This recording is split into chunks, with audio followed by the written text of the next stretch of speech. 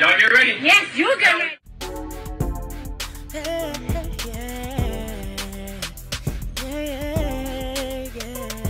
If you want the latest news in the streets, join us and tune in for the tea. Breaking news with integrity. So tell your friends and your family. It's the Lovely Tea TV show. Bringing you good tea and good vibes. It's the Lovely Tea TV show. Be sure to share, like, and subscribe. Hey, you guys, so I want to come on here and talk about the whole Kyle Marissa Roth situation. I know a lot of people have been asking me about that. So if you guys don't know, um, I know I've used her few for videos before in past videos. She was the chick on TikTok and she did like a bunch of like blind item, you know, celebrity gossip news. So she would get like a lot of these blind items. To be honest, she took it from Eight Crazy Days and Nights. Basically, she would take stuff from Eight Crazy Days and Nights and then she would talk about it on TikTok. And so she was able to garner a following. And so she had been in a bunch of drama recently um, for exposing Diddy and exposing J Lo. And if you guys know, a lot of people are really mad about J Lo's documentary, and people have been clowning her. And she's been basically dubbed as one of the worst celebrities ever. I was 16 in the Bronx, running up and down the. Okay. I truly have left this woman alone for years. I have just been annoyed in silence since high school. And guess what? I'm a Puerto Rican woman from the Bronx who went to the same high school as you, and you're lying. I saw your high school photo. You did not have hair like that. And we also both attended an all girls Catholic high school in an Irish and Italian neighborhood. So you weren't running up and down the block. You know damn well you were sitting next to Megan Farley and Christine Marchetti in class. Why are you lying? Please stop using us to look human. We are sick of you. You don't do shit for us. Keep our names out of your mouth. We're not running up and down the block. Not all of us do that for kicks. You're Sasha Ramos, and I'm the voice of Jenny from the block. Um, so, like I said, I was not in the room when the negotiations were happening, and um, I have thought to myself over the years, like, I wonder if Jennifer knows I got paid so little for all of the work I did on her album. And I really hope that she doesn't. I really hope that she didn't. But also, I'm pretty sure she was in the room. So, there's that. Don't be fooled by the rocks that I got. I'm still, I'm still Jenny from the block. Used to have a little, now I have a lot. No matter where I go, I know where I came from. Celebrity was rude to you. Jennifer Lopez. Same, and I'm going to try to tell them really quickly. Two stories about Jennifer Lopez being an awful human being. So, number one, when she has drivers, the number one rule she has for them is they can't look at her, they can't talk to her, and her luggage is never allowed to touch the ground. If any of those things happen, she will go out of her way to make sure you get fired. Even if you have to look in the rear view mirror while you're driving, she will call that you trying to look at her and proceed to berate you. And I know this because my dad worked for that driving company and he refused to drive her whenever she came in town because of how awful she treated the drivers. Second story, she was with Ben, I believe at MGM or whichever casino, and Ben's a great tipper and he respects service workers. And so he tipped a lot of people a lot of money that night. Jennifer goes around to each of those people and takes back the tip and gives them maybe five, ten bucks, maybe. She is an awful person. So a lot of people do not like J Lo, and people have been clowning her and going in on her. And so Kyle was basically calling out J Lo um, for her documentary, how unrealistic it was. J Lo ended up flagging everybody who used her content who weren't saying something flattering about her, so they started calling her J Lulu. Um, so it was just a mess on TikTok, the whole back and forth with her and J Lo's army bot. Um, so she was talking about this, and then she said something that was really interesting. Um, when her account was removed from TikTok because it was flagged by J Lo's team, she lost her money. And so I guess she had cancer. She was dealing with colon cancer. And so she was saying that she's not able to get her cancer treatment. It's J-Lo's fault if she dies. You want more, I'll give you more. So you know how in recovery, they say the first step uh, to recovery is admitting you have a problem. I have a problem, and that is that uh, J-Lo copyright claimed all of us, myself included, got my account banned. I think that was it because she didn't like the fact that we were using clips from her her narcissistic venture, her her cosplay of an Eras Tour film. I don't know what the fuck that is. Um, to uh, point out all of the lies and narcissistic attributes um, that you know she has. So a lot of your favorite creators might be gone because of that. So um, it, since I now am in recovery, since I've admitted that's the problem, I need to heal, and I'm going to heal by uh, using blind items to expose what a narcissistic POS JLo is. How about this? So this is going to be an abbreviated deep dive, just enough blind items so we get a real idea of what JLo was like. Uh, you guys, I'm in this article. Forbes did an article on JLulu messing with TikTok creators. Uh, if you go click the, the video that I stitched, that's on my backup account. Uh, the link in my bio is my link tree, and the link to the article is the first thing uh, on my link tree when you open it up there. Go give it a read and make sure you share it with everyone and anyone on the internet all over the place. Let them know. Tell Cersei I want her to know it was me. But anyway, in my backup account, it's also linked right here, right in the link in the bio. First article, uh, first line in the link tree. Sorry, I'm super sick. Is the JLo article. Give it a read.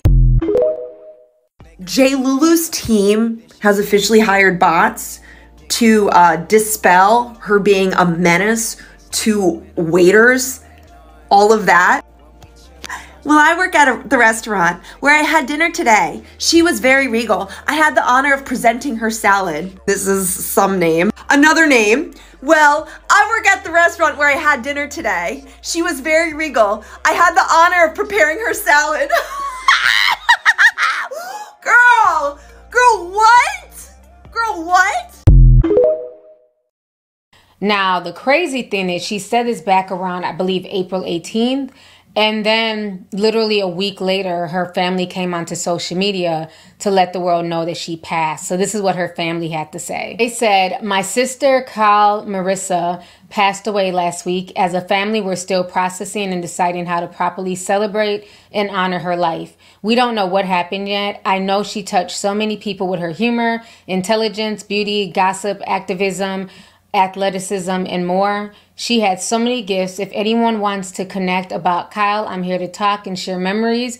I will also keep you in the loop with any memorials as they are planned. I am so sorry to all those learning about this loss right now. Any prayers, thoughts, blessings, or intentions for this soul's smooth transition are welcomed. So that is what her sister said. And so since then, there's been a lot of conspiracies about, you know, did JLo have something to do with this? And people are going to JLo's comment section and they are lighting her ass up. They are going in on JLo. Here go just some of the comments right here. As you guys see in her comments, they're saying Kyle Marissa Roth, Kyle Marissa, rest in peace Kyle, rest in peace Kyle, canceled, um, Kyle Marissa Roth. So they're like literally going in on J Lo. Um, somebody else says RIP Kamalissa. Uh, no one likes you, lol. RIP Kyle. We didn't forget about Kyle. So they are definitely having a field day in J Lo's comments. So a lot of people are saying, you know, was her death natural? Was something caused behind the scenes? You know, it's causing a lot of controversy and conspiracies for sure online. Guys, we got a blind item about Kyle. At least, I think it's about Kyle. Let me know if you think differently. So this was posted on April 20th on Crazy Days and Nights. Apparently, in the two weeks prior to her death, this social media A minus lister, she's A minus list, had told a couple of people in her personal life and a couple of followers that she felt like she was being followed or stalked. Then she got a spam email from someone trying to extort her. She knew it was spam, but it added to the fear. So, what do you guys think? I was wondering if there would be a blind item about Kyle. An NT lawyer posted one. How does he know this information? Guys, we got a blind I got a blind item about Kyle Roth, but it's more than just a blind item. This is actually a warning for social media influencers. I'm just going to go ahead and read what I have here. A warning to social media influencers, activists, and truth tellers. I never ever post blind items, but this one is important for protecting social media influencers, especially those who have a tendency to expose the criminal activities of the rich and famous. Here it goes. There are tons of reports from psychics and medium workers, celebrities, and social media influencers, particularly involving an A-list celebrity gossip influencer who re- lost her life recently. People in the entertainment industry will get rid of people they perceive to be a threat through something that those in the industry officially refer to as a spiritual assassination. What is a spiritual assassination? A spiritual assassination is just like putting a hit out on someone, except rather than hiring a hitman to directly commit homicide and or fake a suicide, sorry, unaliving, they will systematically go after a person's finances, career, love life, friendships, reputations, and other aspects of the target's physical, mental, emotional, and spiritual well-being even spiritually attacking the target via an etheric space those in the industry refer to as the room. The goal is to orchestrate the perfect crime by intentionally causing so much damage to the target's entire life and well-being that it results in a suicide or terminal health failure. If you suspect that this is happening to you, take the necessary steps to focus on your holistic well-being, hire a private investigator, go to therapy, and continue reaching out to others for support and understand that you're not crazy. This is a real thing. Victims have even reported feeling stalked or followed. And it doesn't hurt to get a spiritual mentor or psychic to also look at where the spiritual attacks are coming from. And here's the post.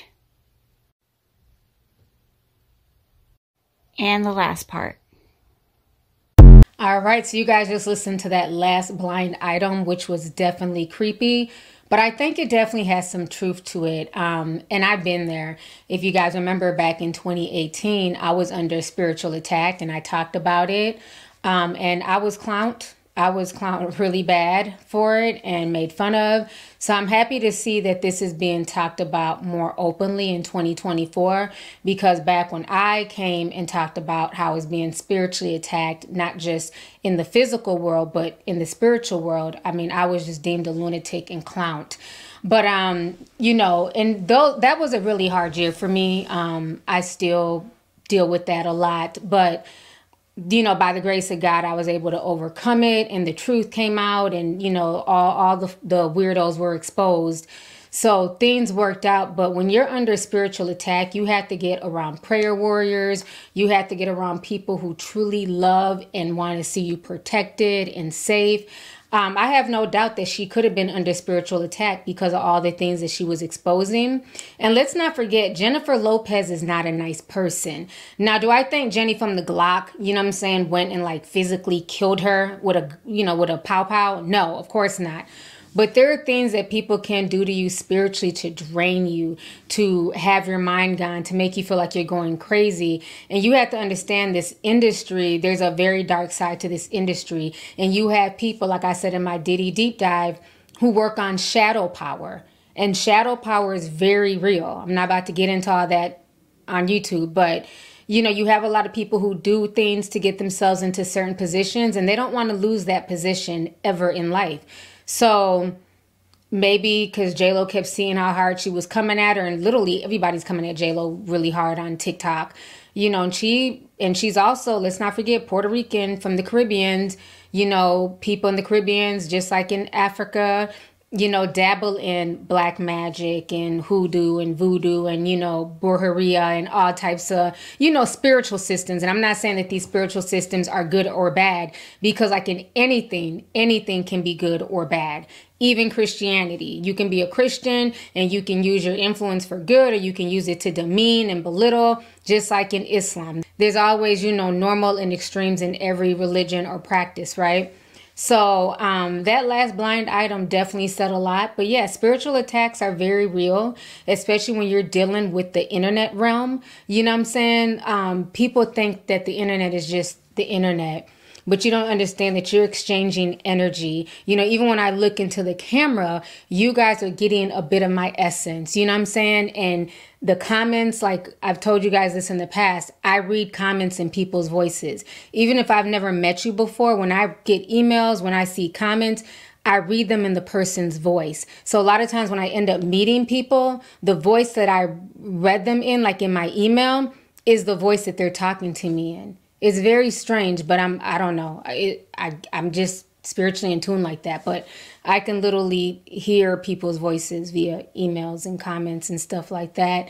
Um, that's why, you know, I always say, like, just really stay prayed up with this and for everybody on the internet, you know, regardless of what you do via commentary, celebrity news, gossip, you know, breaking down diss tracks, you know, from DJ Akademiks to Kyle to just everyone, you know, you have to understand that there are people who don't want you to succeed. And that's in every facet of life, not just social media, but it could be at your job. You know, you'll have energy vampires who want to bring you down, who feel like you don't deserve that position, maybe because you're a woman or because you're a person of color. So you just have to stay prayed up. And let's not forget that a lot of these celebrities have sold their souls. When they first come into the industry, you know, we can look back at, you know, Ariana and Demi Lovato and so many people were a certain way when they first came into the industry. Then you fast forward, you know, five, ten years later, and they just gotten so dark. This is not conspiracy, this is spiritual warfare. This was Taylor Swift before, and this is Taylor Swift after with a demonic agenda from her recent music video and doing straight up rituals at her performances. You got Sam Smith before, and now you got Sam Smith after. You got Vanessa Hudgens before, and you got Vanessa Hudgens after talking to Ghost. You got Demi Lovato before, and you got Demi Lovato after. Look at that cross. Straight mockery. You got Billie Eilish before and you got Billie Eilish after. You got Beyonce doing things like this on Who Controls the Media Controls the Mind at one of her concerts. And you got people like The Weeknd just flashing Satan right before people's eyes at another live concert. The war is not between flesh and blood, it is between dark principalities, powers. The devil isn't even hiding anymore, y'all. The world still can't see him. I plead the blood of Jesus over God's children during these end times in Jesus' mighty name. You know, the music, the energy is so dark. So um, I, I definitely, I, I definitely can relate to that blind item you know, it's a very scary space. But like I said, you have to have prayer warriors around you and you have to believe that you're here to serve a purpose bigger than yourself. Nobody, I don't think in this day and age people go out their way to be truth tellers. I think truth tellers are chosen. It's almost like your destiny and you just know what comes with that, you know. But am I saying that her cancer, you know, didn't play a part in it? Of course, you know, at the end of the day, um, she was a sick woman. A lot of people are dealing with illnesses and stuff like that. But sometimes it can be very much exacerbated because of the things that people are involved in you know, from social media to like, you know, working in a very stress heavy job can also exacerbate things with your illness and with your health as well. So I would just say for everybody to stay prayed up. I don't care what it is um, that you do in life, but just even the things that you consume, you know, the music, the movies, you know, if you're going to watch things that are more darker, definitely pray before watching and pray after. You know, there's certain truth teller videos that get so dark at times that I have to pray after watching it. You know, even with my deep dives, um, you know, there's times I've gone down super dark rabbit holes where things have attacked me spiritually. You know, I know the Astro World deep dive, it was so much. I've talked about this on Discord. It was so much that came behind me you know, listening to that stuff over and over and, and editing and the frequencies. And one of the things that I've learned recently, because a lot of times when I do my deep dives, the edits end up messing with me where I can't sleep for days at a time. And so, what I've learned um, from other editors, people who really edit, because I'm like, well, how do people who edit horror movies, how, how do they decompress?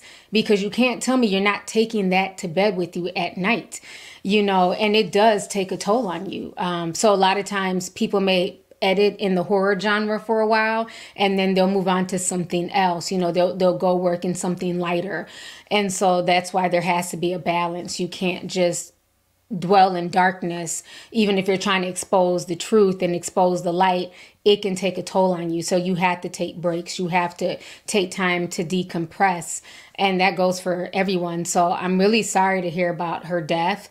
Um, but yeah, I could definitely see it being a spiritual battle because she was hitting on a lot of stuff. I mean, if you go back and watch some of her TikTok, she was exposing a lot of stuff. Um, and I could see that where people would not want that type of information exposed.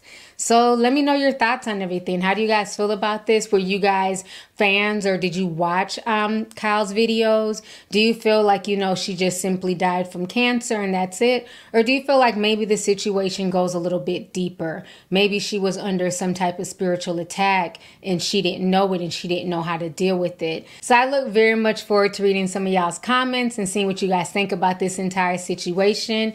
Please don't forget to like the video. Feel free to share the video. And most importantly, make sure you still subscribe to the channel. And I'll talk to y'all later. Deuces. If you want the latest news in the streets, join us and tune in for the tea. Breaking news with integrity. So tell your friends and your family. It's the Lovely Tea TV Show. Bringing you good tea and good vibes. It's the Lovely Tea TV Show. Be sure to share, like, and subscribe.